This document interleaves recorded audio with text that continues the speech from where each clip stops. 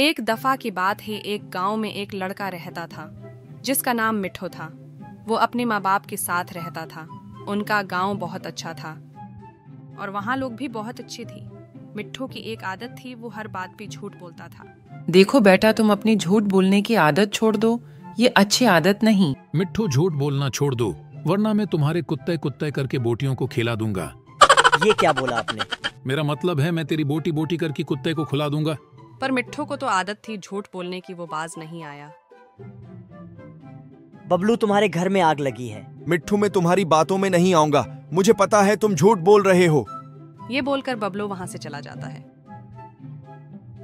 Aunty आपका बेटा बहुत झूठ बोलता है। मुझे कहता है तुम्हारे घर में आग लगी है।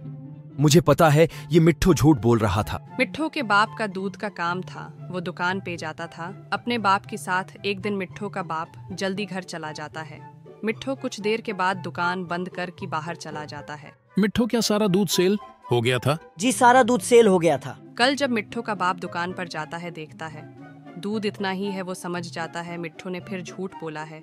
एक दिन मिट्ठो को एक बूढ़ा आदमी मिलता है। उसका सामान गिर जाता है वो मिट्ठू को कहता है। बेटा मेरी मदद कर दो।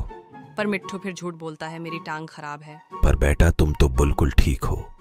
देखो झूठ बोलना अच्छी बात नहीं। अगर अब तुम झूठ बोलोगे तो तुम्हारा कद भर जाएगा। मिट्ठू मुस्कुराता हुआ चला गया। जब मिट्ठू घर आया इसके बाप ने पूछा दूध तो सेल ही नहीं हुआ तुमने फिर से झूठ बोला।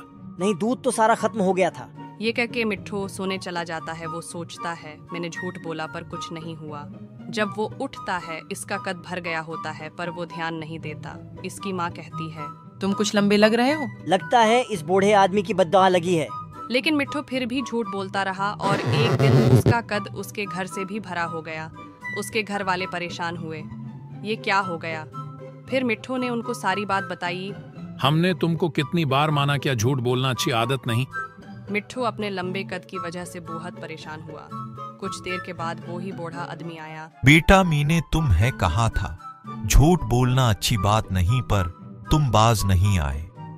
ये सजा है तुम्हारी। अगर तुम झूठ बोलना छोड़ दो तो तुम ठीक हो जाओगे। ठीक है मैं आज के बाद कभी भी झूठ नहीं बोलूँगा। मिट्ठू जैसे ही ये बोलता है वो ठीक हो जाता है। मैं आज के बाद कभी झूठ नहीं बोलूँगा।